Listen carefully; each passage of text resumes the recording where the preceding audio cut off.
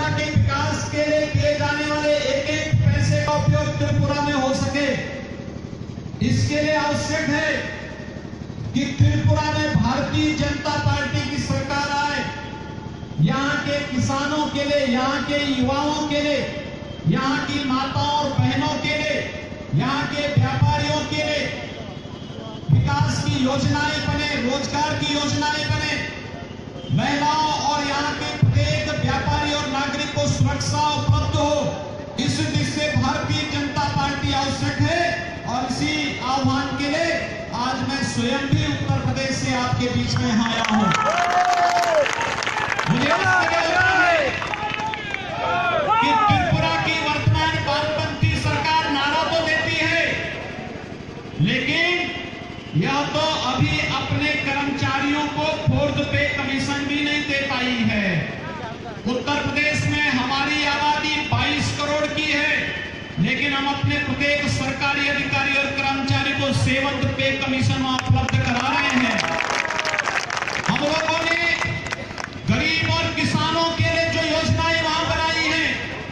नौजवानों के लिए स्टार्टअप और स्टैंडअप में जो योजनाएँ बनाई हैं उन योजनाओं को अगर हम लागू करते तो त्रिपुरा का युवा पलायन नहीं करता।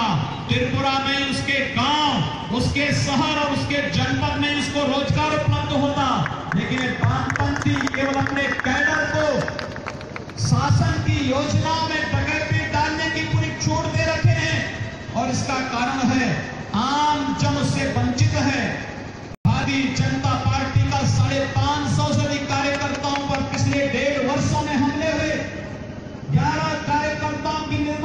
हुई ये त्रिपुरा में और गुंडा राज को प्रधान प्रस्तुत करता है। और इसे आप सबका मैं आह्वान करूँगा आपको सुरक्षा प्रदान करने वाली और विकास और सुशासन पर विश्वास करने वाली भारतीय जनता पार्टी को चुनाव चिन्ह कमल के निशान पर चुनाव जिता आपको सुरक्षा, विकास और सुशासन की गारंटी देती है। यही आह्वान आप